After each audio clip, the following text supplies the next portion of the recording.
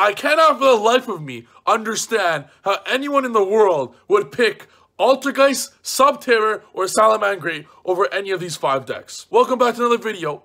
Pendulum Gang, where are you at? If you're new to the channel, smash the subscribe button. Uh, hint, hint, the best deck in the entire universe is number one, obviously. Let's get started, shall we? Bonus. Shit, I picked Mystic Mind Burn over Altergeist. I'm gonna tell you guys that right now. Altergeist Subterror, they're not even decks to me. They're the same equivalent as windups. They don't do shit. They actually suck. Now, I don't know if this is just my experience of playing the best deck versus these garbage trap decks, but Pendulum absolutely obliterate these decks. They can open Triple Solemn Judgment, and I will still win. I don't care. These decks suck. They don't do anything. They all lose to Red Reboot, Denko Sekka, Lightning Storm, Eccentric, Garuda, etc., etc., etc. And need to side for them, you'll still win. Anyways, I've been Mystic Mind Burn over them, but this is just a bonus. Now we're going to go to the fifth most underrated rogue deck, and that is all Go Second decks. It could be Invoked, it could be Grand Madru, it could be Danger Dark World. All these card decks are so underrated right now in fact, Invoked Meta Knight has the highest win rate on all of Dueling Book right now. Same on Crusadia. Like, they're all go second decks. They're go second decks. The whole meta sucks. If you don't face Spiral, every other board is irrelevant to you. And Pendulum, of course. You can just OTK them easily. So, go second decks are very underrated this format. And if you're a fan of go second decks, bro, play them. Like, this is the format to play them with the whole format kind of sucking. Uh, next is Dinos. I don't know why dinos are not seeing as much play as they should be. One conductor clears an entire spiral board. Like, the whole deck is so good. Bait out the negates or whatever, and then conductor and goodbye your whole board, and you just outright win the duel. So dinos are underrated, going first or going second. Dinos are underrated this format, and super great of a rogue pick. Next, Lunalight. Why has this deck died down? You guys are playing this deck so incorrectly. I would still play it with the Orcust cards. This deck could still easily end on a rank four, a double rank four, Apollousa, and a Crescendo. No problem. It could end on Floodgates. It could end on lots of stuff. The deck is actually still very underrated and does not need to rely on Orcust. I would. You don't need to play the Orcust cards. You could easily end on a summon limit set and Apollousa and double rank four or Griffin and a rank four and say go ahead and Apollousa Griffin rank 4, Floodgate, that's still game. And going second, Lunali's prowess is going second because of double or nothing is still remarkable. So I'm a big fan of Lunalight.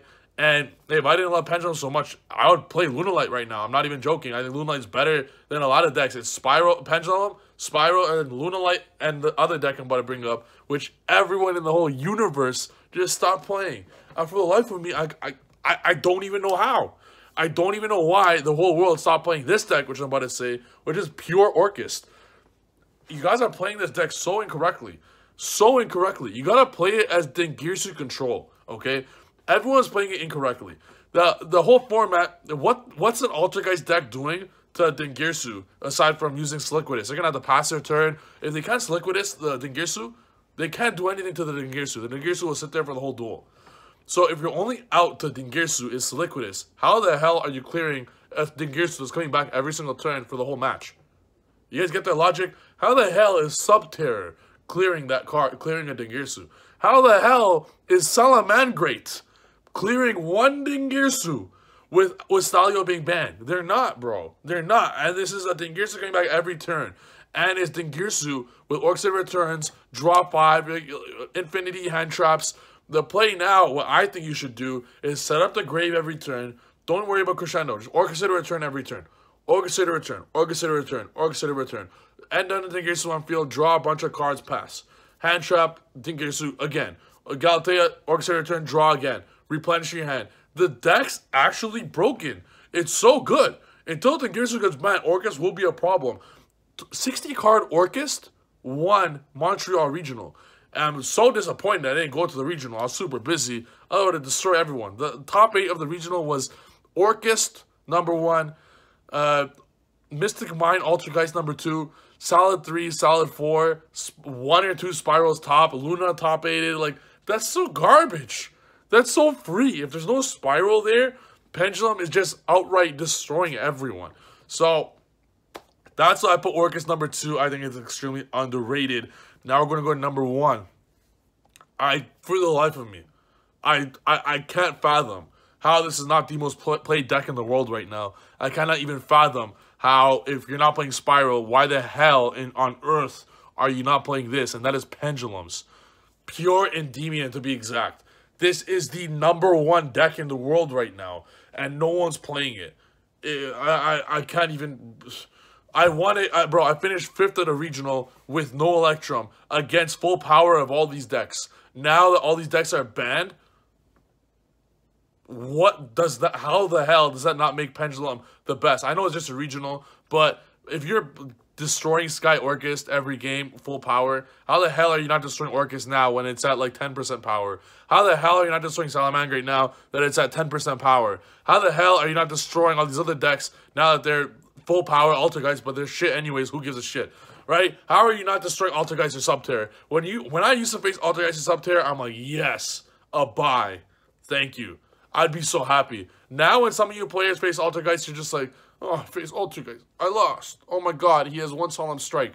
I don't know how the hell I'm going to destroy it, even though I have the greatest card in Yu-Gi-Oh! Mighty Master here to clear the whole board. You guys hear, hear what I'm saying? It is so easy, but unfortunately, a lot of you are playing it incorrectly. Hence, which is why in the future I will be doing on my Patreon how to destroy back row decks on the Trif Game membership. So if you guys love Pendulum, I highly advise sign up down below and learn how to obliterate row decks because it really seems you guys have a problem with it and I do a lot of research on how to do this for you guys. Uh, so I'm trying to make my membership a one-stop shop for all Pendulum players to learn about the game. So you don't got to look anywhere. Just so you guys know, just look at one place, make your life easy, learn how to do it, destroy your opponents, and then take their girlfriends.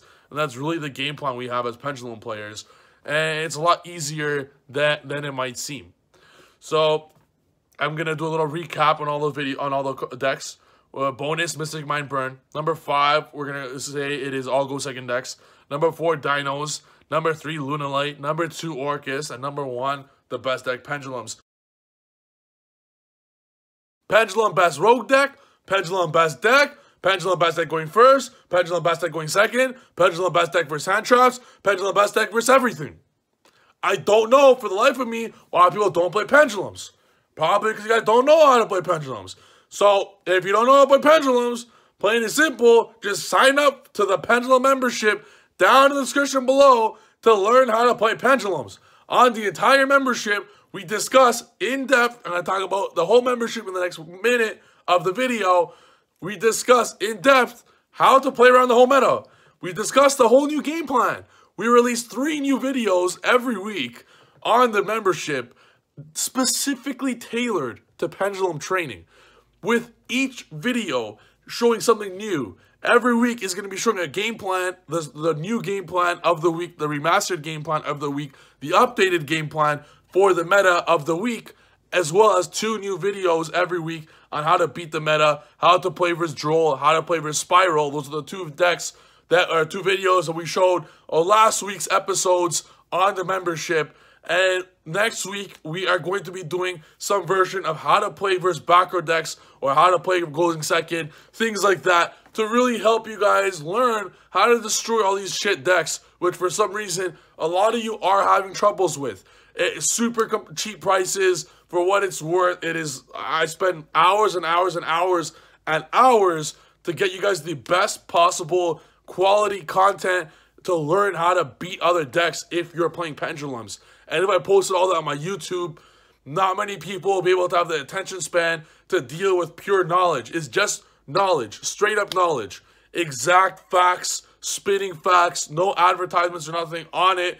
Just knowledge and facts to help you guys become the best players in the world. And that is the vision behind the whole Trif Gaming membership. So if you guys love pendulums, make sure to go sign up down below. You guys won't regret it. That's the video for today. I hope you guys like it. Hit the subscribe button. Stick to the game plan. And I'll see you guys in the next video. Peace.